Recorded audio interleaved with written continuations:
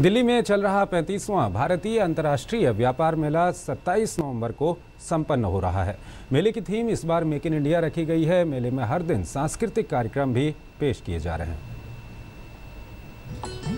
दिल्ली के प्रगति मैदान में चल रहे 35वें भारतीय अंतर्राष्ट्रीय व्यापार मेले की थीम इस बार मेक इन इंडिया रखी गई है।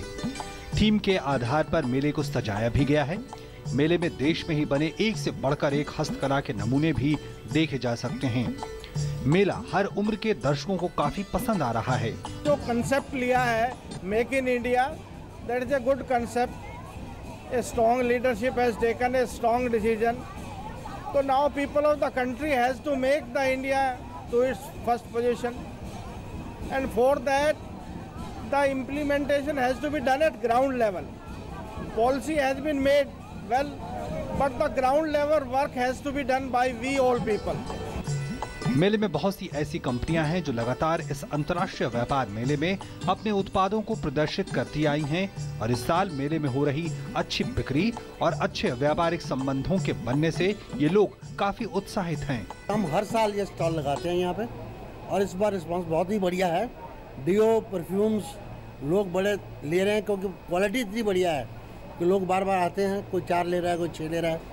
मतलब हमें इसका रिस्पॉन्स बहुत बढ़िया मिला है। हमारा तो ऑलवेज अच्छा रहता है। हम तो यहाँ विगत 35 साल से आते हैं और लीची का टेस्ट लोगों को काफ़ी जम गया है दिल्ली में। तो लोग लेते ही हैं। और और साल के बनस्पत भी भीड़ सही है। हम खुश हैं। मेले में हर दिन सांस्कृतिक कार्यक्रमों की भी धूम है। मेले में ओडिशा दिवस समारोह भी आयोजित किया गया। इसमें कलाकारों ने रंगारंग कार्यक्रमों के साथ साथ कई करतब भी दिखाए।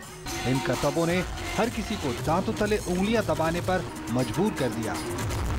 गिरीश निशाना की रिपोर्ट, डीडी न्यूज़ दिल्ली।